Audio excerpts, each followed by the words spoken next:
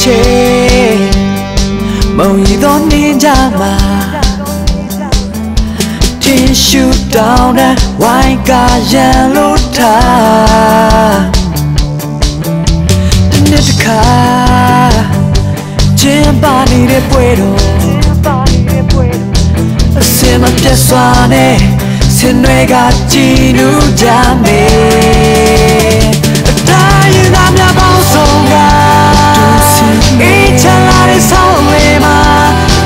ပြောနေကြအဘူဘွားမိပါမကြအတူဆုံးတဲ့ဒီမျိုးလေးမှာမင်းရှူမိပါကောင်းကင်ရဲ့မြေအားလုံးတွေပြုံးပြော်ရဲ့ cherry ချုံလန်းထားတဲ့မျိုးလေးဟာတိုင်းတွေ့ကြိုးစိုးနေတယ်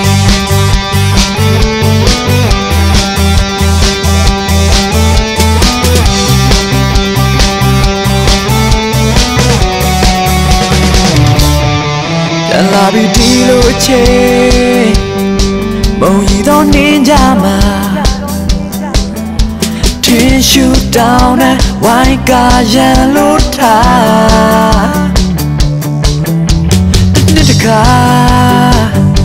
ကျင်းပါနေတဲ့ပွဲတော်အစင်မပြတ်စွာနဲ့စင်တွေကကြည်နူးကြမယ်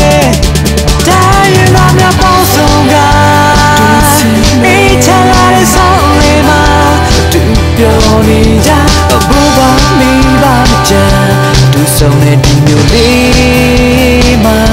မင်းရှူမိမကောင်းခင်ရဲ့မြေအားလုံးတို့ပြုံးပြော်ရဲ့အချယ်ရီချုံလွှမ်းထားတဲ့မျိုးလေးဟာလူတိုင်းအတွက်ကြိုးစိုးနေတယ်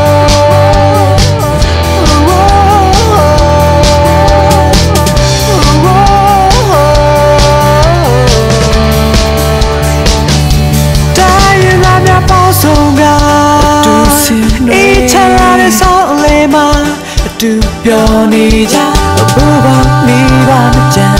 အတူဆုံးတဲ့ဒီမျိုးလေးမှာမီးရှူမိပါကောင်းကြီးရဲ့မြေအားလုံးတို့ပြုံးပြော်ရဲ့ cherry ချုံလန်းထားတဲ့မျိုးလေးဟာလူတိုင်းအတွက်ကြိုးစိုးနေတယ်